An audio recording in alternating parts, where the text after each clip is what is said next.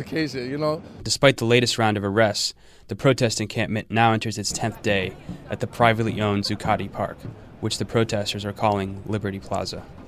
Demonstrators use the space for nightly meetings of the popular committee known as the General Assembly. After a week of deliberations, participants have now agreed on a number of basic demands, including an end to policies that result in the concentration of wealth and unlimited influence of money in politics, and the creation of a participatory economic and political system that opposes discrimination and racism and promotes environmental justice. 23 year old community organizer Michael Strom says he hopes these demands can be a catalyst for a movement that can challenge corporate domination.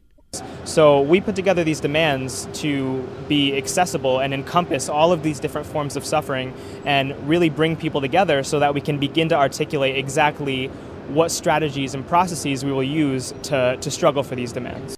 Protesters vow to continue the Occupy Wall Street demonstration until these demands are met.